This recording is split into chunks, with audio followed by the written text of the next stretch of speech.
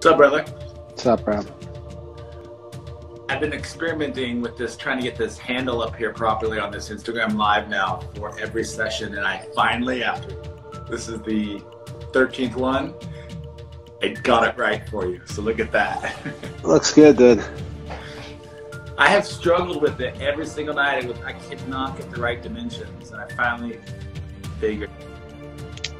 Practice virtuous behavior. Cook some food. Meditate. Be happy. Tell me one good thing that happened today with you. Oh, I had a lot of good things happen today. I had a very nice yoga session with the Gritty Buddha. It was really nice. Made some delicious homemade pasta. My son ate about 50 of them. It's like a little restaurant over here. How old's your kid? They're uh, 13 and 15. 13, I got. I have 14 and 11. Yeah, so about the same. Yeah, yeah, yeah. So you're born and raised in New York?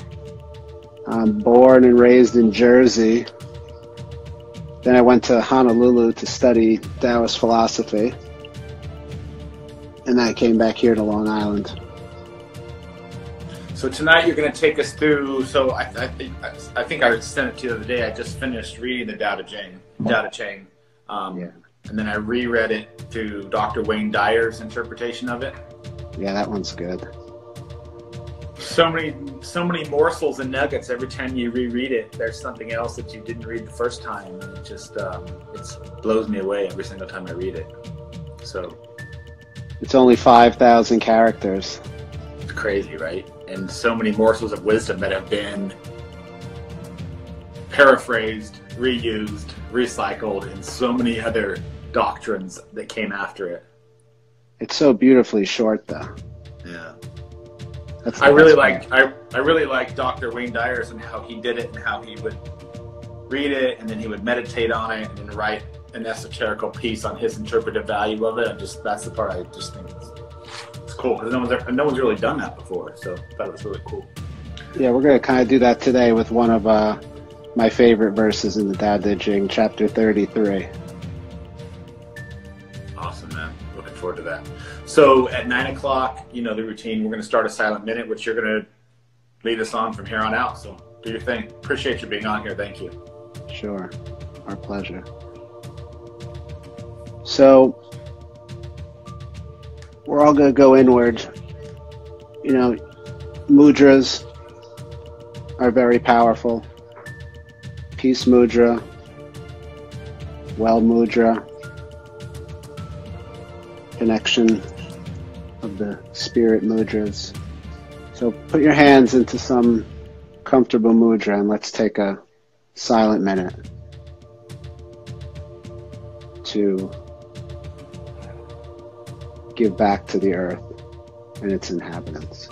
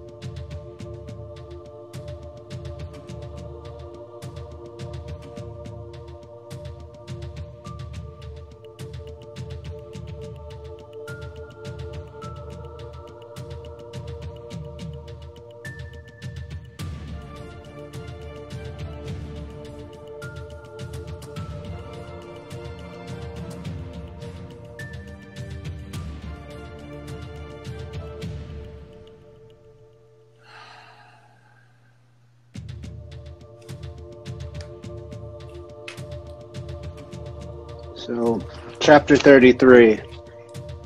Zuran Zerzi, Zerzi Zerming. It is wisdom to know others, but it is enlightenment to know the self. You know, this passage talks about overcoming obstacles that exist inside your body. And in times like this, we have to practice undoing a lot of what we've learned mistakenly that took us away from our nature. Shangran Zer Yoli, Zer Shang Zer Qiang. The conqueror of men is powerful, but the master of him or herself is strong. You have to develop internal discipline. You have to apply some type of religion or philosophy or system that you know you can work on inside no matter what's happening in your surroundings outside. 知足者富，强行者有志. It is wealth to be content. It is willful to force one's way upon others. Right? In a world like we're living in today, richness is adequacy, is, you know, going with the flow developing that inner peace inside your heart. So no matter what's going on outside, you're centered and full and rich because you possess comfort and adequacy. Bu shi qi so, zi zhu, si er, hu wang, zi shou. Endurance is to keep one's place. Long life is to die and not perish. So this passage means, like the bamboo, you have to bend but not break. And remembering that the difference between life and death is just one single breath. So in these times, in this age, focus on your breath. Focus on what's inside you. Work on all those things that you have going on that can improve. And as a result, You'll support the world, everything around us, and become one with the Tao. Fantastic. I appreciate your time. Thank you very much for that reading. Can you reiterate to everyone, just so they know what it was you read, the Tao Te Ching, chapter 33, and kind of how you got into that and, and what it's meant for you? Yeah, this Te Ching was written in 1122 BC by Lao Tzu it's one of the oldest classics in human history. It teaches you how to live virtuously and in accordance with the Tao. You know, the character Tao is the whiskers under your nose with the rudder of a boat. So it translates as the path, but the idea is that you're using your somewhat intuition to navigate through all the turbulence that exists in the world. And that's the basis for Taoist philosophy and there's plenty to read about it. I suggest starting with the Tao Te Ching, chapter 33, chapter 62, 63, 64, 1, and 25. And it's a beautiful book of poetry that provides guidance in good times and bad. Basically, read the entire chapters, all of them. They're all fantastic.